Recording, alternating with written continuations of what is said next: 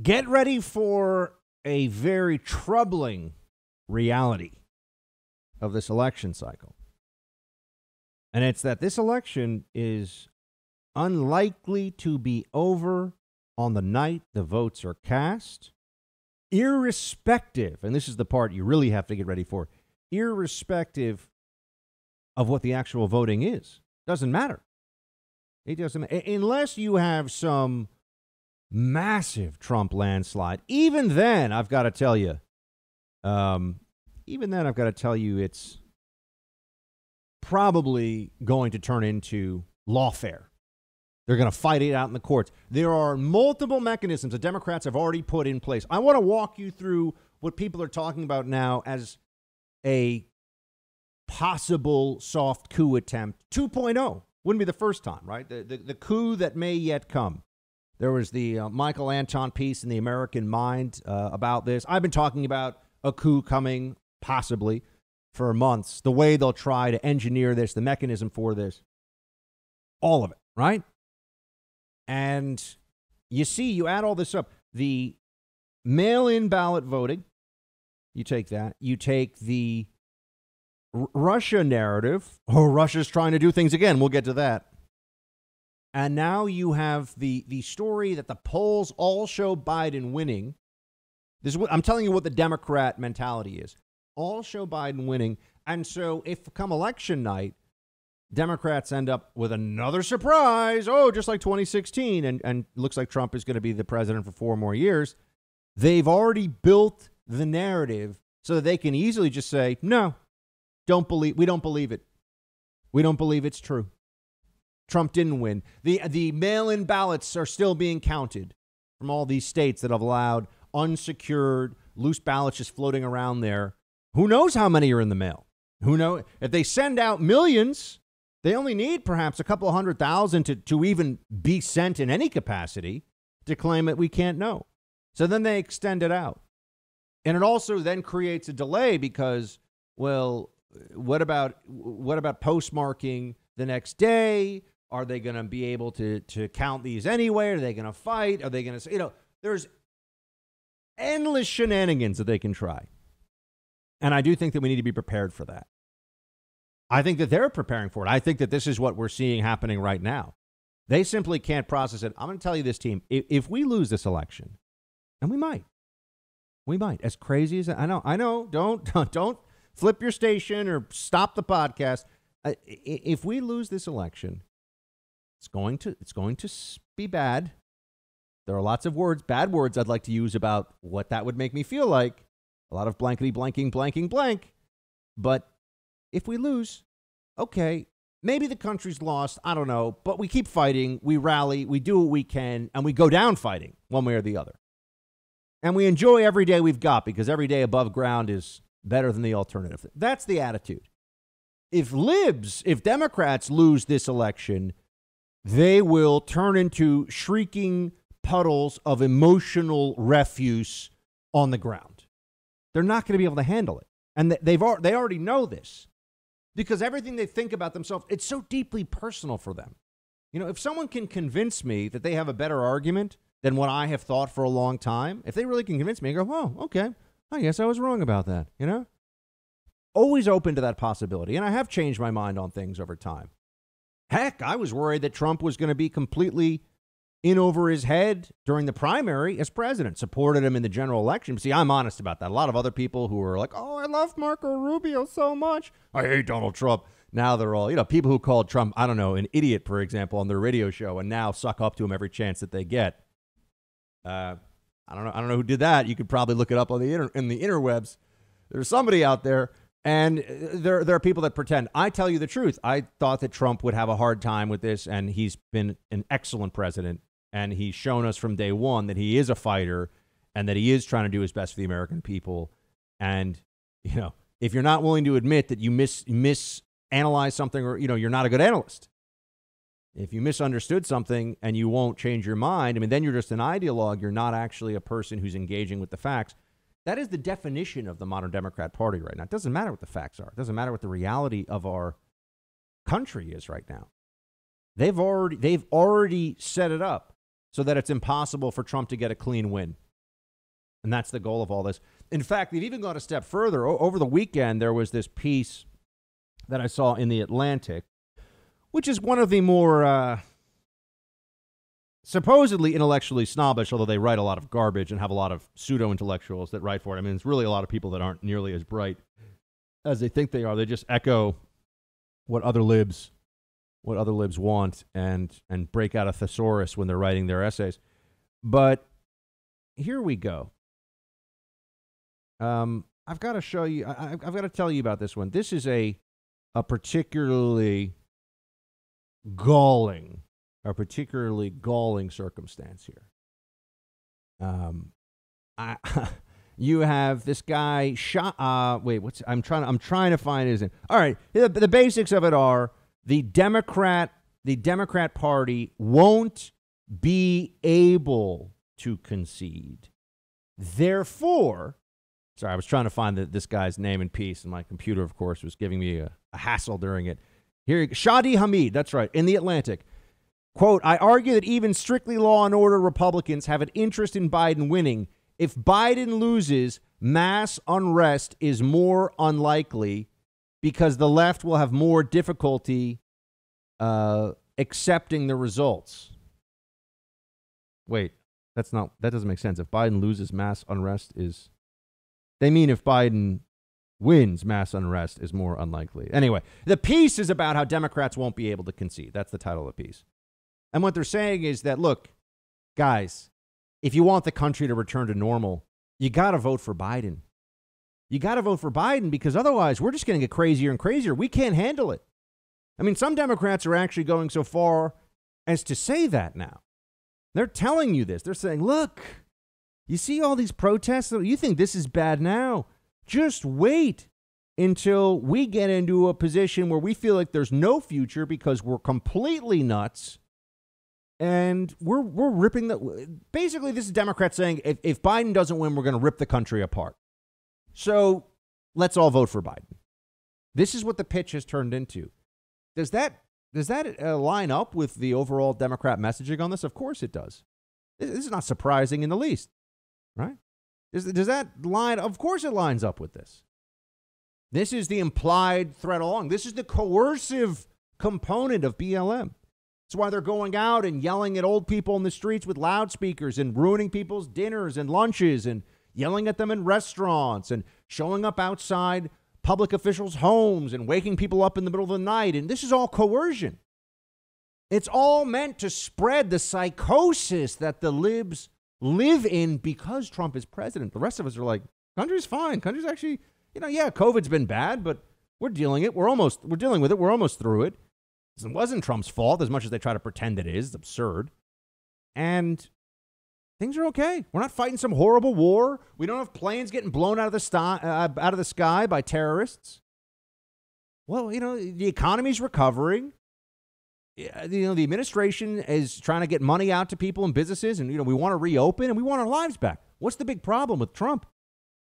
The border issue has calmed down for now. I mean, we haven't settled illegal immigration yet, but the border issue is not not in the same uh, emergency situation that it was. And yeah, here we are.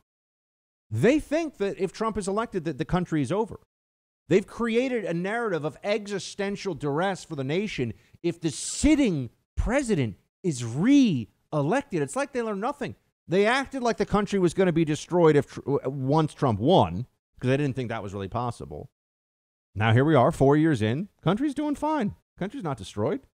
People are fine. People aren't getting marched off into, you know, into camps and being told to break rocks with mallets because they voted for Democrats. And there's not none of these horrible things. There's no fascism. They haven't suspended election. All these things we've been told. He's not actually a, a puppet of Putin, although they still say that like complete morons. But now it's just the same thing all over again.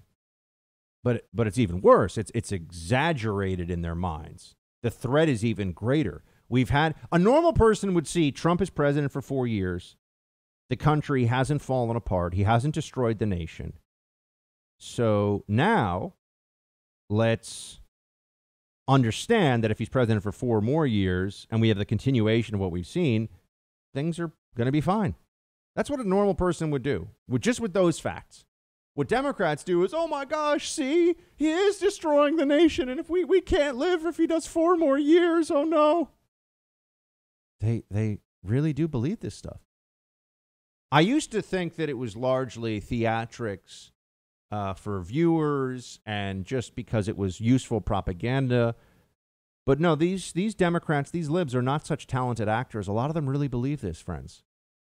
And that means they're willing to go to the most extreme lengths imaginable to not just try to defeat the president, which they still could do, but to steal the election from him if he wins.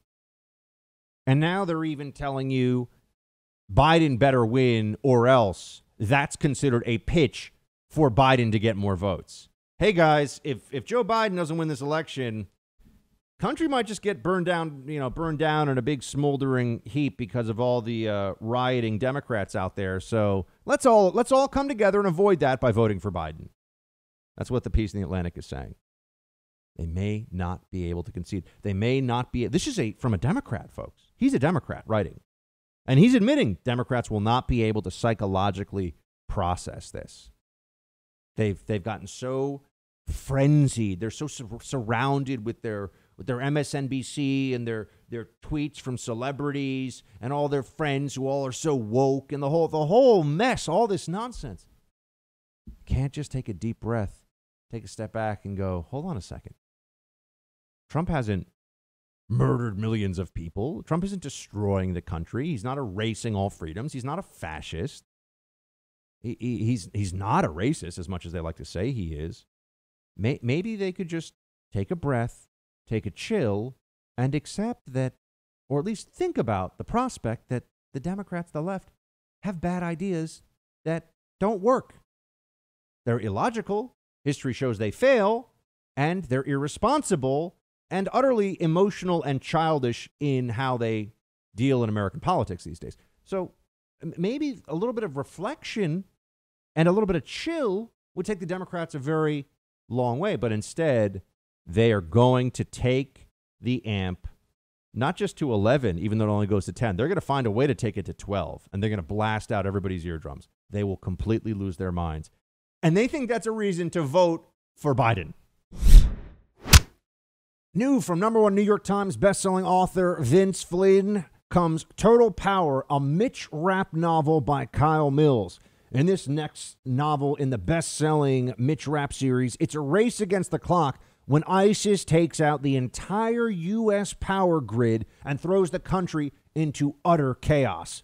The story will keep you on the edge of your seat while taking you through a destructive cyber attack on our nation, making you ask yourself, Will it be lights out for America, or can our top assassin save us from plunging into darkness? This works in so many of the real terrorist and cyber threats that the national security apparatus has been working against for years. This novel will work you through all of that and, of course, keep you on the edge of your seat. The Real Book Spy calls Total Power a serious contender for Best Book of the Year. If you're a fan of suspense and thriller, this is the book for you. Take Back the Power, Total Power. The new Mitch Rapp thriller from Vince Flynn, available September 15th in hardcover, ebook, and audio.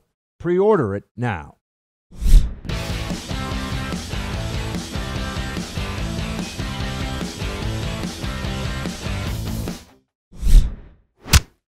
Because he put the most vicious ad on television that I've ever seen. Do you know what I'm talking about? Where I'm standing over the graves of our fallen warriors, our fallen heroes, these are great people, the greatest people there are. And I'm standing over there, and they have some sleazebag reporter from a third rate magazine having some source quoting me saying, I won't even use the term, but saying bad things. And there's nobody that loves our military, respects it, and the people more than me. And they took and I didn't even ask. We had 25 people that were witnesses that are on the record already that have said that never took place. It never took place what they said. And yet, pathetic Joe, and he's a pathetic human being to allow that to happen. 25 people on the record saying the Atlantic story didn't take place. And yet, we still have to hear that the president hates the military. That was never a credible story. the president has disdain for the military. Let me say something about, about, about guys like Trump because he's a New Yorker like me, and there's a there's a certain no BS, a little sarcastic, aggressive mentality and personality that New Yorkers tend to have, right? So producer Mark has a little bit of it. I've got a little bit of it. You know, there's just a we got a way we got a way of being here. And Trump definitely has. Trump's from Queens. He's a Queens boy. I'm a Manhattan boy. Trump is a Queens boy, actually. Producer Mark, you're a Queens boy, aren't you? I am a Queens boy. There we go. Exactly. You know, Queens guys like love family, good food, and you don't want to push them too far. You you don't, you don't want to push them too far. It's it's a bad bad place to go, and you don't want to try to rip them off either. They uh, they don't like they don't like anyone playing games. You know, Manhattan is a little similar, except we spend a little more time out at the country club. Same idea though, same basic mentality. And here's the thing: there's no way that Trump if there's any group of people in the world that, that the president of the United States, while he's president and before he's president, clearly respects, it's our combat veterans. It's our airmen, soldiers, it's our Navy, Marines, Air Force, Army. All right. It, there's, and so that's why the story, but they're so desperate to come up with some way to siphon off that strong veteran support for Trump, but they're just they're just going with this. They're just going with this. Yeah, so the, the president said that his generals are a bunch of wimps. General, generals are allowed to be criticized, okay? And generals are no longer on the front lines. They're not in combat. Has some harsh words for his generals. Guess what? He's allowed to. But he respects the men and women who put on the uniform, who serve their country every day, who do it for very little pay, at a lot of personal cost, and at risk of their lives because they love this country, because they're patriots. This president respects those people. There's, there's absolutely no reason to believe otherwise. Okay, yeah, there are there are people that use their service or someone else's service as a, try to a, a weapon to attack the president politically, and he's going to respond. This guy is is the Democrat line really that he he hates the military, and the military is just not smart enough to figure it out. The people in the military who support Trump, they just don't realize. Usually, you don't like people that disdain you and think that you're losers, right? So, so who really has disdain for the military? The news media, the press. They do. They always have had it. How many, you know how many journos there are running around? You're like, oh my gosh, yeah, the military. I don't know if that's for me. Or any kind of service to their country. Tons of them. Who writes stories? Who's the, the first people that want to tell everybody about how there was a, a civilian casualty incident with the military. You know, who who ran wild with his, his front page Abu Ghraib stories every day, just defame the entire military because there were some people who were doing bad things. Uh, the journalists. So I just think it's interesting that, that they really are doing what the uh, psychologists would call projection here. Trump doesn't hate the military, but if there's anybody that doesn't have due respect for the military, it's not all journalists, and there are journalists who are former military, and I know that. But a lot of lib media people really think that the the military is a bunch of uh, you know unsophisticated, undereducated. Uh, you know, they really do have that attitude about it, and I think it's I think it's so clear they're trying to push this onto Trump, and it's all just nonsense. Um, what are we seeing with these fires out in California?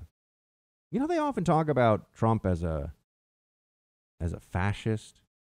I'll, give you an example of what a fascist demagogue actually sounds like. And uh, here's a hint: not Trump, but out on the West Coast, there is someone who I do believe also has presidential aspirations, who may not really think of himself as a fascist, but certainly does a good impression of an enviro, enviro fascist when given the opportunity.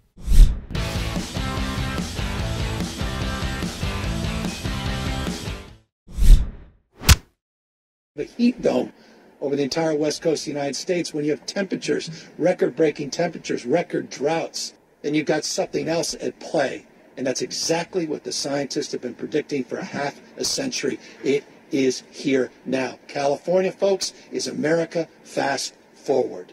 What we're experiencing right here is coming to a community all across the United States of America unless we get our act together on climate change, unless we disabuse ourselves of all the BS that's being spewed by a very small group of people that have an ideological reason to advance the cause of a 19th century framework and solution. We're not going back to the 19th century. We're not apologists to that status quo. We believe in the fresh air of progress versus the stale air, emphasis stale air, normalcy. California is America fast forward. I certainly hope not. California was a beautiful. I mean, it's let's just let's take a step back for a moment. California is one of the most I mean, along the coast, the interior, I'm sure has some nice places, but let's be honest. We spend most of your time around along the coast is where you're talking about the beautiful stuff.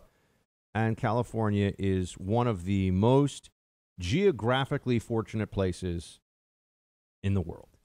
You know, you get around Big Sur and you're up in the Monterey area, and even you get down the coast. I mean, I drove from LA to San Diego a couple years back. I mean, it's just gorgeous, incredibly bountiful for I mean, the, the, the coastline, the access to the Pacific Ocean. They've got wonderful uh, vineyards. I mean, look, I'm not trying to do an ad for the state of California. I'm just trying to bring up that Democrats, largely with the help of illegal immigration, right? Illegal immigrants come in and then they have children here. And then those illegal immigrants, those households tend to vote Democrat. So then when the children grow up, they vote Democrat. And, you know, that's how they flipped it. So it's just the bluest of blue states now. California was a reliably Republican state. California had Governor Ronald Reagan, gave us Reagan, and was going red up until I think the H.W. Uh, Bush presidency and national elections. So it wasn't it wasn't that long ago that California was a a place. Look, it was the American dream. I grew up in the in the late 80s and in the early 90s and it was like every movie I saw was based in I know that's where the studios were, but it was all based in California. And the ideal existence it seemed to the American teenager circa, you know, 1988 was to live in you know the live in a house in California within striking distance of the ocean and learn how to surf and skateboard. Like this was the ideal. And the weather's perfect and there's all these beautiful people. And now Democrats have been in charge entirely for let's call it the last last 20 to 30 years. And they're ruining it. They're they're ruining it. Okay? The state is going through ruination. I was out in LA a year ago and I spent I spent I've spent weeks and weeks in LA in the last few years, and everyone that I was talking to was a native was like, "Look, I love this place, but it's just."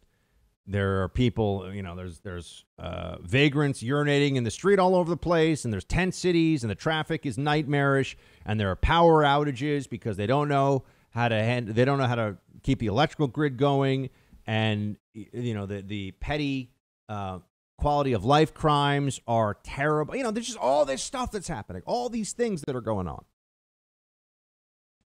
And sure enough, sure enough, uh, the state is finally falling apart.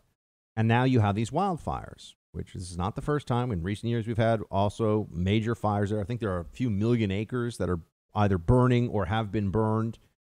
And it's not just California, it's California, it's Oregon and Washington State. These are prim- primarily in uninhabited but you know wooded, wooded areas, and the fires are really bad, and they, they are out of out of control right now. And what are we told is the only answer to this? Climate change. I I, sit here and I, I want to ask the question what natural disaster at this point is not attributable to a liberal, to a Democrat? What natural disaster is not attributable to climate change now in this current environment? Anything? Is there anything that we can say? Hurricanes, climate change. Wildfires, climate change. Go down the list. Floods, climate change. Mudslides, climate change. I mean, you, you just look at all this stuff you say, uh, okay, now let's just put aside for a second that that seems just very simplistic in its thinking. And if you're wondering how much warmer, they keep they keep saying it's the desiccation of forests, which is a fancy way of saying dry forests. Okay. They love to say desiccation of forests because it sounds sciency. Dry forests. Heat, dry. There you go. The desiccation of forests has created greater um, uh, risks for these for these forests than there have been in the past. And then say, okay, well, how much warmer are we really talking about? You know, Gavin Newsom there, who's telling you, remember, California, and in a sense, he's right. California is the future of the whole country if the Democrats have their way. Rolling blackouts, quality of life plummeting, super high taxes, flight from the state. And and for those who are saying, "Oh, but look at Silicon Valley." When did Silicon Valley really get going? The 90s. Right? Hollywood is a legacy institution that happened to be in LA but stretching way back to when LA or at least when California was still often in Republican hands. It takes time to ruin a place and you and, and there's often a period where you can just be essentially milking the cow before you end up killing the cow, right? And that's what Democrats do in these places. They these states, New York, California, they get fat and happy. You know, there used to be kind of Rockefeller Republicans. There was a little bit more of a there there were some serious periods of time in, in New York State's history when it was certainly more conservative in its leanings than it is now. But California is a perfect example of the rapid change that you get when the left wing takes over. But they're showing you now the results of their policies. When the mayor, Mayor Garcetti, has to tell people, yeah, turn your turn your thermostat to I think it was 78 degrees. A 78 degree house is really warm, folks. Papa Buck's going to be sweating a whole lot in a 78 degree house. But here we are. Continue to look at this, continue to think, well, what's the answer? Oh, there's only one answer. There's only one answer. Tom Steyer, he who doth own only one tie despite being a billionaire, he gives you his answer. Play six. This is a global problem. Look, this is crying out for national and international leadership. What's the, the number one thing we can do is elect a different president who's going to recognize the problem, deal with it forcefully at home, deal with it forcefully overseas. That's actually the only solution we have to this problem. And is honest to God, Joe Biden. Joe Biden is a solution to climate change. That's they they really believe that, right? Trump they said couldn't build a wall, which actually the wall they've had about 250 miles built, about 300 miles, according to Chief Scott of the Border Patrol, roughly 300 miles currently being built, 250 miles built. You're looking at about in a pretty short period of time here from from today, it'll be five, six hundred miles of wall. But building a wall is impossible. Changing the global climate, that's that's just requires leadership. That's what the Democrats want you to think now. That's their uh, their belief.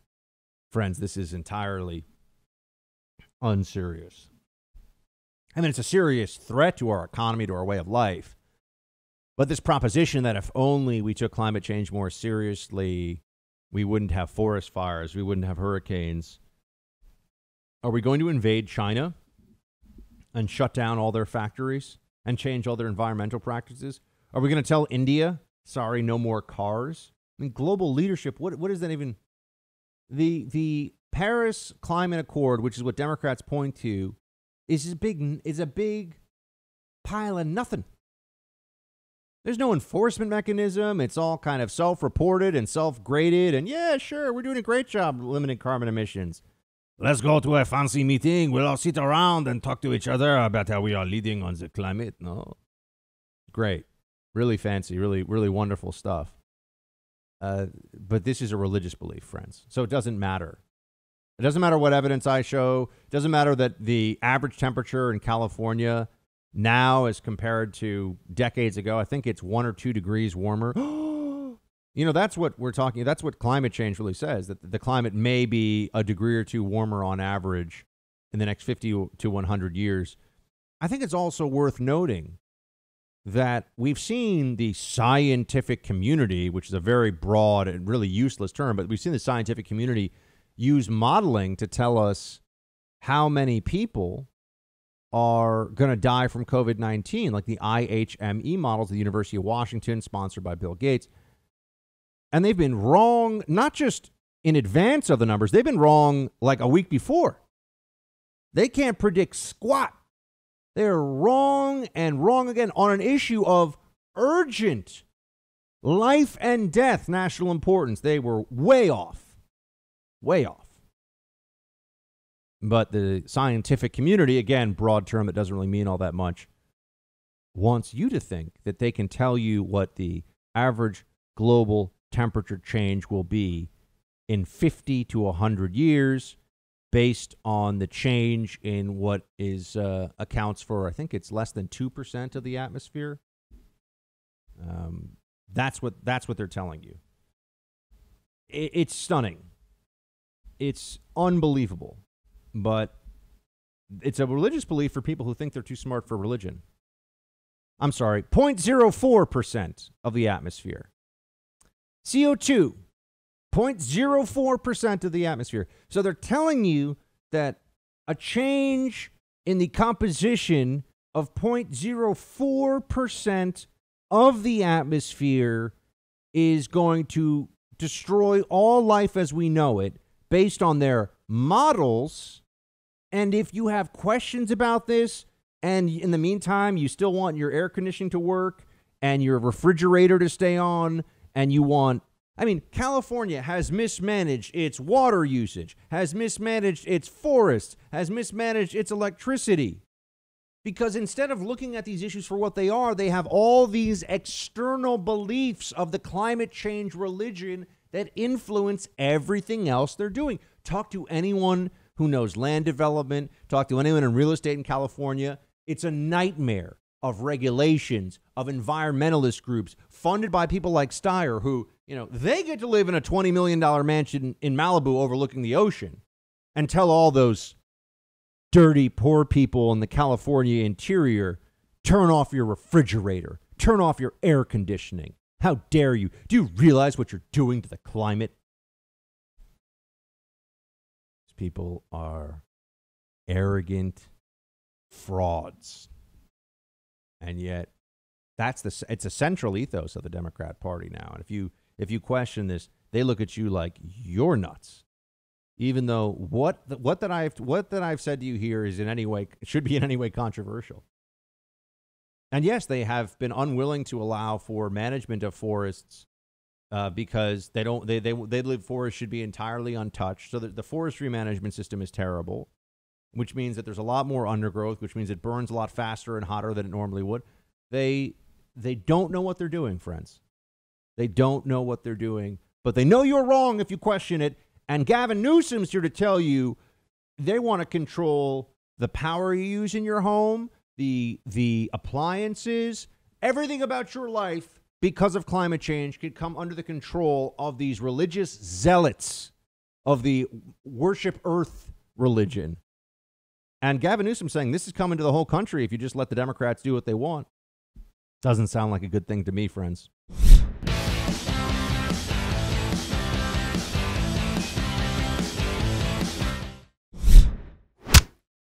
I listen to fire professionals, um, not the president of the United States or a politician, when it comes to actually what causes these fires.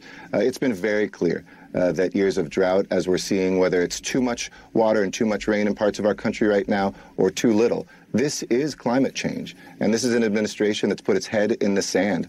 Uh, while we have Democratic and Republican mayors across the country stepping up to do their part, this is an administration, a president who wants to withdraw from the Paris Climate Accords uh, later this year.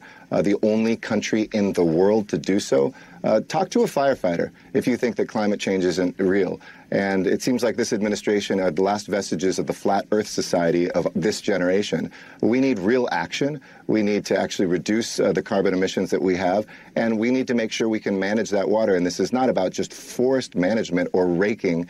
Uh, anybody who lives here in California is insulted by that, quite frankly. And he keeps perpetrating this lie. Meanwhile, if you go to the San Francisco Chronicle, they'll even publish this Is climate change worse than California fires, or is it poor forest management? Both. So Garcetti's accusing the president of lying for pointing out that forest management in California is terrible, when the experts that Garcetti cites are like, yeah, no, the forest management's terrible. Maybe the changing climate, whether it's from CO2 or not, right? Maybe the changing climate is playing a role. Climate is always playing a role. This is liberals can't think, their brains can't wrap around this. That the climate, the world is not a stable climate. Always, it's not always staying at the same temperature. It's constantly in flux. It's constantly changing. It's like a chaos system. You don't know what's going to happen, what's coming. What, it's constantly changing over time. So of course there's climate change, but is it this crisis that they're making it out to be? There's been a century of mismanaging Sierra Nevada forests, Nevada forests, pardon me, that is impacting all of California right now. Um, forest management is a major part of the problem, according to people whose jobs are to fight fires. But when Democrats talk about it, they say the president's just lying be- because they're nuts. Because they, they, it doesn't matter. They'll say whatever they have to say as long as it allows them to do what they want and keep the pop the uh, unwashed masses in place. Richard Grenell went after Pelosi on this one. This is the Democrat ethos now. I'm going to tell you everything you have to do, and then I'm going to do different things. And if you question it, you're not about science. Play five. Let me let me tell you one thing that I learned about being in Washington D.C. There's a whole group of people in Washington D.C. who hate the outsider. They have their own rules. You see, their rules allow them to go to San Francisco, get their hair done, and then they demand an apology from you for not keeping a secret. The whole town works on secrets, backroom deals. They spoon feed you information. They keep information from you. Indeed, they do.